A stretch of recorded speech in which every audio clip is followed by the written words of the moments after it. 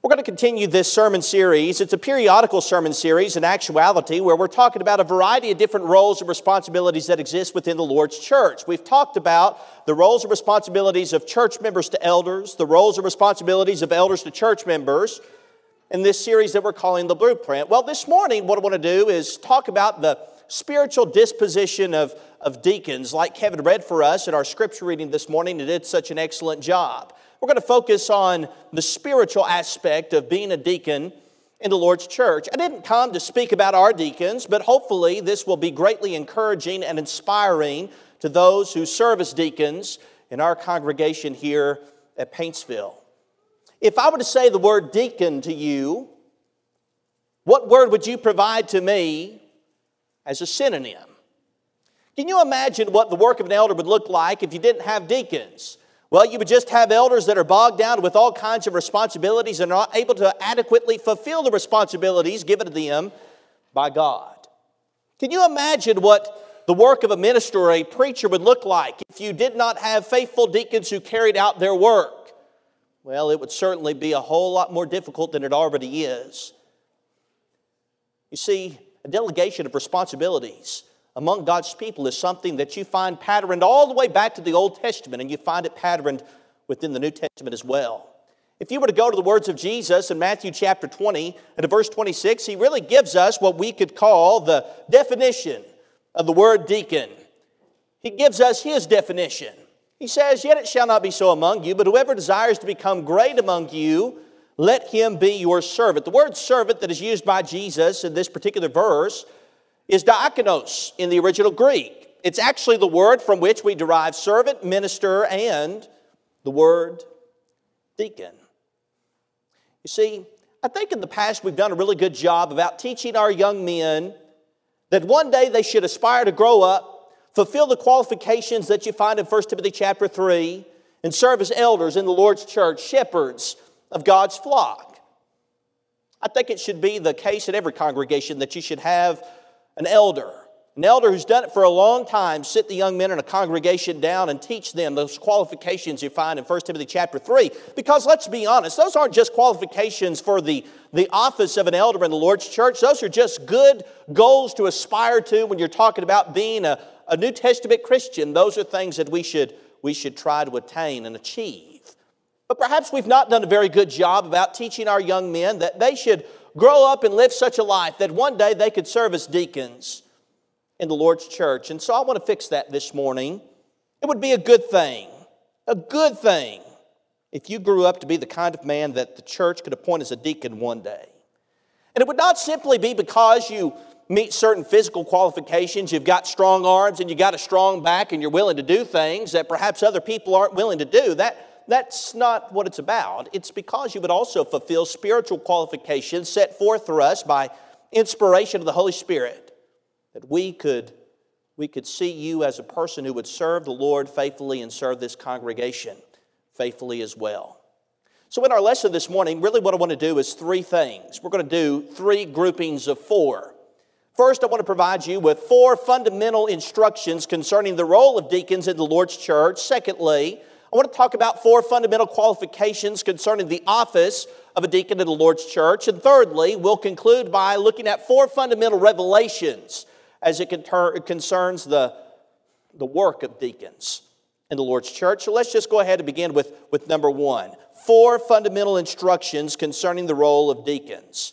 I want to give you four things that I believe that we've done a really good job of in the Lord's church teaching, not only to the younger generation, but also to the older generation four fundamental teachings that I think we've, we've really gotten across over the years. And the first is this we've taught the generic and the official sense of the word deacon in the Bible. Now, the word deacon can be just a reference to servant or minister. When you go to 1 Timothy chapter 3 in the King James Version of the Bible, it uses this word office of a deacon. Now, you're not going to find the word office in any other modern translation, including the translation that I hold in my hands, the New King James Version.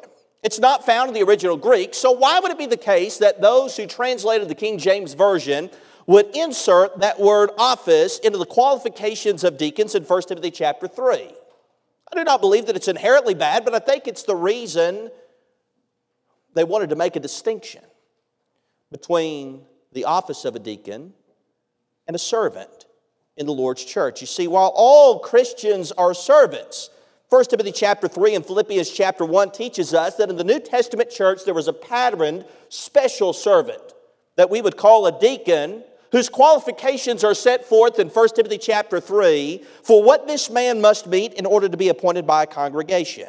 Every Christian is a servant, yes, but not every Christian qualifies to be a deacon in the Lord's church. Now, the NIV tried to play a little trick on us. See, the NIV went to Romans chapter 16 and verse 1 when it was talking about our sister Phoebe, and it said, first, yeah, Romans chapter 16, verse 1. I commend you to our sister Phoebe, a deacon of the church in, in Cenchrea. Well, what's the problem with calling Phoebe a deacon? Well, those who are trying to go beyond the bounds of, of Scripture and the pattern that we find within the New Testament would like to see the Lord's church become a little bit more gender neutral, where we can appoint women in certain positions within the Lord's church. But the truth of the matter is, you can't do that. You know why? Because when you go to 1 Timothy chapter 3, and Paul sets forth these qualifications for deacons in the Lord's church, what's the first one? The husband of one wife. A woman can't be the husband of one wife. Phoebe didn't serve in the office of a deacon. Now, she sure, being a servant of the Lord, was a faithful servant who was even commended by the Apostle Paul and is recorded for all of generations for us to remember her servitude and her faithfulness. But she didn't qualify to be, be one who held the office of a deacon, like what we read in 1 Timothy chapter 3. Secondly, I think we've done a really good job in the Lord's church about making sure that we understand a deacon must be married, the husband of, of one wife. Phoebe wasn't the husband of one wife, she couldn't be in the office of a deacon. Thirdly, I think we've done a really good job also teaching that a deacon is selected in a certain way. So, the second big problem that arises within the Lord's church in the New Testament is found in Acts chapter 6. The first would be Acts chapter 5 and Ananias and Sapphira. And you remember what happened to that husband and wife. But in Acts chapter 6, there's a problem that arises in the first century church in Jerusalem. You see, there are Hellenistic widows and there's Hebrew widows. You go back to Acts chapter 2 and you'll remember that there were many countries that were represented on the day of Pentecost. Among those, 3,000 that obeyed the gospel. It's quite possible they brought their families with them. And so here we have some members of the Lord's church in Acts chapter 2 that are Hellenistic widows. And the church is taking care of the widows. I love that. I love that. James 1:27 says, "Pure and undefiled religion before God is this: take care of your widows." I love that the church in Jerusalem was taking care of their widows. But then a problem arises among the widows. You see, in the daily distribution, the Hellenistic widows aren't getting what the Hebrew widows are getting. And there might be a lot of different factors at play here. It could be some racial undertones, as the Hebrews were kind of standoffish when it came to the Hellenistics. But whatever it be the case, we see that they're being neglected. And so the members of the church, they bring this problem to the apostles. And what do the apostles say? They say, well, this is what you're going to do. You're going to appoint seven men from among yourselves who are full of the Holy Spirit, of good reputation, and wise. So the problem in the Lord's church was a physical problem. There was some widows who were being neglected in the daily distribution. But when the apostles said, This is what you're going to do, I want you to appoint seven men, what did they attach to those seven men? Well, they didn't attach just physical qualifications, they attached spiritual qualifications. They said, We want you to, a man to be full of the Holy Spirit, good reputation, wise. Now, some people go to Acts chapter 6 and they believe that this might be the first deacons in the Lord's church who served under the apostles, who would have been their overseers. Whatever it be the case, I know that you find the word deacon in Acts chapter 6. In fact, when your Bibles, when you go to Acts chapter 6 and verse 2, the apostles say it's not desirable that we should leave the word of God and serve tables. The word serve tables in verse 2 is diakonos the word from which we derive deacon in the New Testament. It wasn't that the apostles didn't like the widows or that they didn't want to take care of the widows. The problem was this the apostles said, We can't minister the word of God the way that we need to if we also have to take care of these other responsibilities. So, this is what you're going to do you're going to appoint seven men to take care of those physical responsibilities. See, elders in the Lord's church shouldn't have to do the work of a deacon, deacons in the Lord's church shouldn't have to do the work of an elder. There shouldn't be a mix up. Deacons should take care of the physical responsibilities that have been assigned to them by the eldership so that the eldership can take care of the spiritual responsibilities that have been assigned to them by God. Which leads me to number four. I think we've done a good job of teaching that the role of deacons is physical in nature. Now, there's a sentiment that says elders take care of the spiritual needs while deacons take care of the physical needs. And there is a sentiment of truth in that statement. You think about Acts chapter 6, the problem that arises in the first century church was physical. Some widows were being neglected in the daily distribution. And So the apostles say, We can't do both, so you're going to choose seven men from among yourself. They delegated responsibilities in the church. A lack of delegation of the church is going to result in regression of growth individually and collectively when it pertains to our spirituality. These men didn't just have strong backs and strong arms, they had to meet spiritual qualifications. You see, I believe it to be the case that oftentimes in the Lord's church, what we focus on when we're talking about deacons is just the physical. It's the wrong approach. If you appoint men who could do the physical but are not spiritual in nature, what are you going to have? Well, you're going to have men who, who don't fulfill the responsibilities that they're given. But if you have men who are spiritual in nature first, and you give them responsibilities, if they're faithful in little, they'll be faithful in much. Isn't that what Jesus said? And so they'll carry out those responsibilities given to them. And here's my emphasis for this sermon this is truth. There is a spiritual side of a deacon. Men aren't just appointed to a deaconship because they have the physical but lack the spiritual. They are appointed to a deaconship because they have the spiritual and they can fulfill the physical needs, the tasks that have been given to them by the church. So let's move on to our second grouping of four. Four spiritual qualifications concerning deacons. Brother Franklin Camp was a faithful gospel preacher in, in times past. He's passed on now on to his eternal reward. I love to listen to him preach. I've got a couple of his books. And I want you to listen to what he said about the role of a deacon in the church.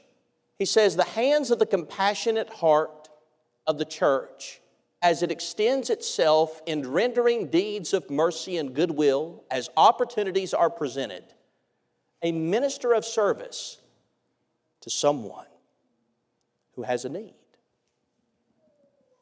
The deacons in the Lord's church are an arm of the church that keep their eyes and their hearts open to the needs of the people that are around them and they carry out or execute the tasks that have been assigned to them by the elders. They make sure the needs are met. And if they cannot meet the needs themselves, they're going to go to the eldership and say, We've got this need, I cannot meet it, but maybe there's someone else that can meet it. Either way, they're going to make sure the needs in the church are met and the people are taken care of. I believe this personally that the number one church member who should be ringing off the phones of the elders with opportunities to serve should be a deacon. They're aware of the congregation, they're aware of the needs going on around them. They're seeking to find ways to serve those needs and involve the congregation in many ways in serving those needs. So go to 1 Timothy chapter 3, and what you find are 17 qualifications for elders you find nine qualifications for deacons. And then the deacons' wives also must meet qualifications, and you find four of those qualifications. Now, when you go to Titus chapter 1, there's also 17 qualifications concerning an eldership. Nine qualifications concerning deacons in 1 Timothy chapter 3. For just a moment, I want to show you four qualifications that I believe teach us important lessons about the spiritual side of a deacon in the Lord's church. Here's the first one it's found in verse 8. Likewise, deacons must be reverent. And the word reverent, it means honest, it means integrity, it means honorable. In fact, it's the same words you find in Philippians chapter 4 and in verse 8 when Paul is talking about the things that we ought to meditate upon. He says, Finally, brethren, whatever things are true, whatever things are noble. A deacon is a noble man. Well, what does that mean? Well, every deacon is assigned a task by an eldership, by a group of shepherds to carry out of the congregation while they look for the needs of individual members. And sometimes that deacon is going to go to the elders and he's going to request certain needs that he needs in order to be able to carry out the duties that have been assigned to him. To be a noble man is to be faithful in the things that have been assigned to you. He's reverent. He recognizes that this role and responsibility that I'm carrying out in the Lord's church, it's of great importance. There is no greater thing that I could do than to be a servant. And to serve is what I've been assigned to do. Secondly, you go to 1 Timothy chapter 3 and verse 8. Paul says, not double tongued.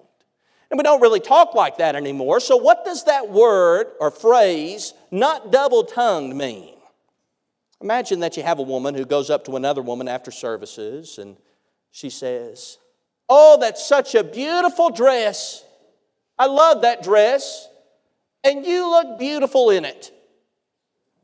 And then after they part ways, she goes over to one of her friends and she says, Can you believe she wore that dress today? I mean, she looks awful. That's double tongued. What about a car salesman who's desperately trying to sell a car? And that car salesman tells the potential customer, because he wants to get the car off the lot, you know what? I'd drive that car all the way to California and I'd trust it. And then he goes into his general manager. He says, I wouldn't even drive that car to the grocery store because I'm afraid the transmission would go out. That's double tongued. A deacon in the Lord's church isn't going to cause issues when it comes to his words or his attitude toward others. He's not a hypocrite in speech or action. He's going to profess and live what he professes. He's going to do the things that have been assigned to him by the eldership to carry out the needs of the congregation because he recognizes the great importance of the role that has been given to him in taking care of the family of God. Here's another one. He holds the mystery of the faith with a pure conscience. You know, oftentimes in the New Testament, the church is referred to as a mystery. You find that in Ephesians chapter 3, because all throughout the generations of time and the millenniums before Jesus came to this earth, what you find are the prophets looking around the corner, trying to find what God was going to do in his grand scheme of redemption to make sure that souls were saved. And so, in essence, it was kind of a mystery. But then that mystery was fulfilled in Christ Jesus. And then the mystery is talked about in past tense as being the church. Here's a man who holds the mystery of the faith with a pure conscience. We're talking about the spiritual side of a deacon. And I love that phrase. It's a judgment that must be made when you're appointing deacons at a congregation. But the truth of the matter is, is that he holds the truth, the truth that shall make men free, John 8, verse 32, with a pure conscience. He's not swayed by false doctrine. He's the real thing. He loves the Lord's church, he loves God's people, and that is never questioned. And you know that this man, meeting these spiritual qualifications that have been set forth by inspiration of the Holy Spirit, that he is going to carry out these physical duties that have been assigned to him in a very spiritual way that's going to make a profound difference in the lives of the members of a congregation. But here's one more. Likewise, their wives. Isn't it interesting that when you're talking about deacons and the qualifications given by the Holy Spirit, he set forth qualifications for the wife of a deacon. See, the wife of a deacon is a sincerely faithful Christian. He's blessed with a wife who lives faithfully. This is oftentimes the case, especially when you look at the qualifications for elders in the first part of this chapter. What you find is the Holy Spirit oftentimes sets forth qualifications for men as it pertains to their homes. I believe that's important because, you see, sometimes you learn more about a man by looking at his family and his children than you do by knowing who you know in a church building. So God says if you want to know this person, look at his family. It's not to say that everything that goes wrong in his family can be instantly linked back to the father. That's not what it's saying. It's just saying, look at his children. And when you look at his children, what do you see? When you look at his home, what do you see? Is he faithful? Does he have his children in submission? And then the question is asked as it pertains to elders how can he rule in the church of God if he cannot even rule in his own home? And when you look at these qualities and qualifications when it pertains to the wife of a deacon in 1 Timothy chapter 3, what you see is a huge statement. She must be reverent, same word, noble, not slanderers, temperate, faithful in all things. He doesn't say she has to be perfect. No person can be perfect. What he's saying is she must be faithful. All people can be faithful. So, those are four qualifications as it concerns a deacon. But here's the last grouping of four that I want to give to you this morning four fundamental revelations concerning deacons in the Lord's church. Here's four verses that I believe we need to take great note of as it involves the work of a deacon in the Lord's church. Let's just walk down through these. Here's the first one. 2 Timothy chapter 1, starting in verse 16. So Paul's writing to, to Timothy, and he says, The Lord grant mercy to the household of Onesiphorus, for he often refreshed me and was not ashamed of my chains. The Lord grant to him that he may find mercy from the Lord in that day. And you know very well how many ways he ministered to me at Ephesus. The word minister is diakonos in the original Greek, from which we derive minister, servant, or deacon. Paul's in prison. How do you suppose a man could serve Paul in prison? What's that look like? What kind of needs does Paul have in prison?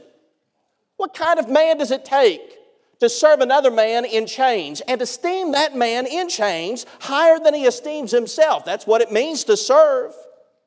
What's that look like? Well, I got one word for you deacon. What about this one?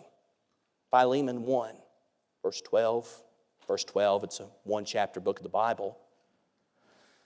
We talked about this this morning. Roger did an excellent job, and I find this verse fascinating. He says, Whom I wish to keep with me, that on your behalf he might minister to me in my chains for the gospel. The word minister, once again, in the original Greek, diakonos. Now, Paul's sending a letter back to Philemon by the hands of Onesimus, and what is Paul saying? Paul says, I could really use Onesimus to minister me in my chains. So, here, once again, Paul's in chains. Here's a person who is a slave who has been ministering to Paul. What's it look like when you esteem a person in chains greater than yourself? Enough so to minister to them, to serve them. What's that involve? I got a word for it deacon. See, deacons in the Lord's church are the servant of servants, they're the lowly of lows. They're the least of all to be the greatest of all in the kingdom. They're willing to do the things that other people, I, I, I, just really don't want to do that. I mean, that just seems really time consuming. Or, you know, that's not really my vein of service in the church. And, and I just, I'm not really interested in serving people that way. I just don't think I would be comfortable. What about this one? Matthew chapter 25. Now, you remember in the scene that Jesus provides in Matthew 25, we're looking at Judgment Day. And Jesus commends all of these people who fed him when he was hungry, who gave him clothing when he was naked, who visited him in prison, so on and so forth. But then he transitions and he provides a contrast. And he talks about those who saw him in those situations, yet failed to serve him. And Jesus says in verse 44, then they will also answer him. Remember, they're fighting back and forth with Jesus. Wait a second, Lord. When did we see you hungry? When did we see you thirsty? When did we see you a stranger or sick or naked or in prison? When did we see you in those situations? Jesus says, and did not minister to you. The word minister in the original is diakonos. It's a judgment day scene. This is what we're about in the church. Deacons play an important role as the eyes, ears, and the heart of the church.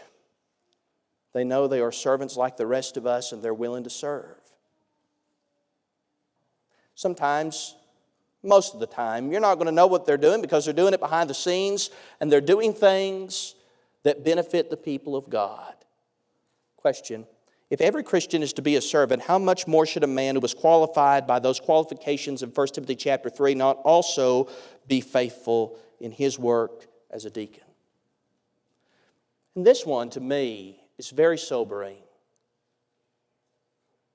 And oftentimes I'll apply preaching to this one.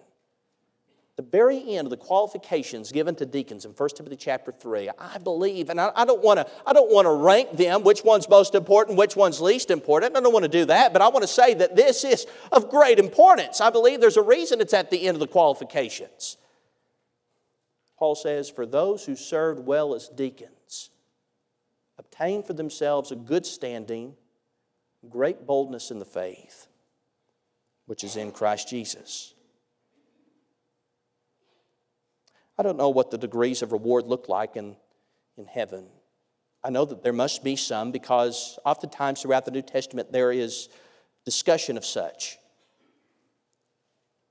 Perhaps this has to do with, with the degree of reward as it pertains to deacons who serve well and who, who do the things that God's asked them to do. But what is the opposite of a deacon who serves well and obtains a great standing and boldness in the eyes of God. Well, that would be a deacon who didn't serve well. What's that look like? Could be a deacon who didn't carry out the task given to him by the elders, who wasn't aware of the needs around him, didn't really concern himself with the people of God and what they were going through, didn't try to faithfully carry out the tasks and execute the service that needed for each situation in, in the Lord's church. There's a great joy to be found in serving others. So, what's the disposition of deacons? Well, it's certainly a physical task. I know that they're given the physical responsibilities of the church, but let's never overlook this the spiritual qualifications given to those who desire the office to become a servant of the Lord. Thank God for servants in the church who take care of the needs of others. Perhaps we've got someone in our midst this morning who's not a New Testament Christian, has never obeyed the gospel, yet to put on Christ in baptism. I plead with you to let today be your day of salvation. You must hear the word of God, Romans 10, verse 17. And the word is about Jesus from cover to cover. It's about his great love for you. And you must believe that Jesus Christ is the Son of God, John 8, verse 24. You must be willing to repent of your sins, Luke 13, 3. It's a 180 change in your life from sinfulness toward faithfulness to God. You must be willing to confess his name before men, Matthew 10, 32 and 33, to be immersed for the remission of sins, Acts 2, verse 38. Live a faithful life. I don't know about you, but one day I want to live my life in such a way that when I finally come face to face with my Lord, that He will call me His servant. And He will metaphorically, figuratively place crown on my head.